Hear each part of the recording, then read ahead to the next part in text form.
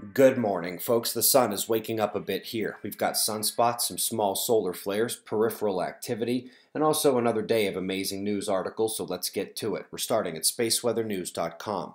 We're looking at a not so calm last 24 hours on our star. We see activity incoming at the active region, but also across the Earth facing disk. Northern filament collapsed this morning, and as the smaller flares kicked in, the plasma filament on the south whipped around the quadrant, and upon its descent, triggered another plasma filament motion through the southern Earth-facing latitudes.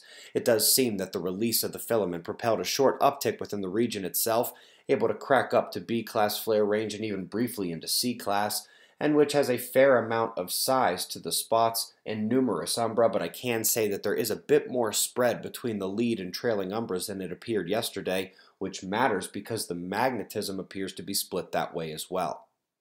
Let's come to the solar wind where the slightest of intensifications is underway, but the telemetry is nothing scary. This is more of a shifting profile than a true impact shock wave. Nothing going on geomagnetically as of yet, and little is expected. Tough to say if these coronal holes will have the equatorial IMF reach to affect our planet, at least more than the weak impacts we've seen of late. The only lithospheric note for the last day is an uptick swarm that hit Taiwan, got as high as 6.1 before backing off in the latter half of the day, Suppose we'll also mention North Atlantic refuses to settle down from Iceland to Greenland, definitely an uptick there. On to the case of the disappearing star, but here, the mystery solved leads to more unanswered questions. They have come to believe that an eclipsing binary is acting on the visibility here, but the problem is that none of the three mainstream binary formation mechanisms allows this particular relationship and particular pattern. Models and math are essential, but the visible observations of the real universe trumps the models. Up next, modified Newtonian dynamics is one of many dark matter alternatives that have been popping up these days given the fact that nobody can find dark matter.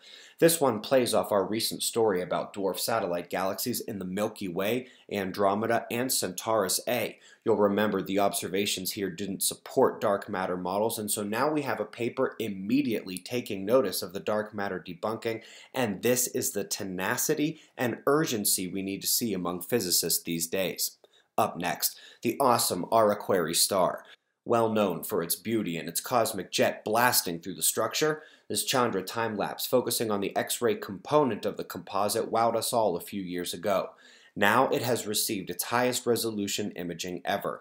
The ways in which we are able to see the fine structure of the cosmic jet are now indescribably telling of its dynamics. Amazing shots in that paper. But there's something else while we're here on this star and its imagery. The primary aesthetically beautiful visible structure is the cosmic jet blasting through what looks like a ring. Not unlike the dust ring recently found around another system of note, one can't help but wonder if there is a similar dust belt around R Aquarii as well, something to keep an eye on. Folks, those upgrades and the increase in the price of the disaster prediction app is at hand. If you are hoping to get it at the cheaper rate, definitely got to do it now. If you missed last night's recap video, we hit a lot of important topics. We greatly appreciate your support. We've got your wind maps and shots of our star to close. We'll do this all again tomorrow right here, but right now it's 4:20 a.m. in the new Valley of the Sun. Eyes open, no fear. Be safe, everyone.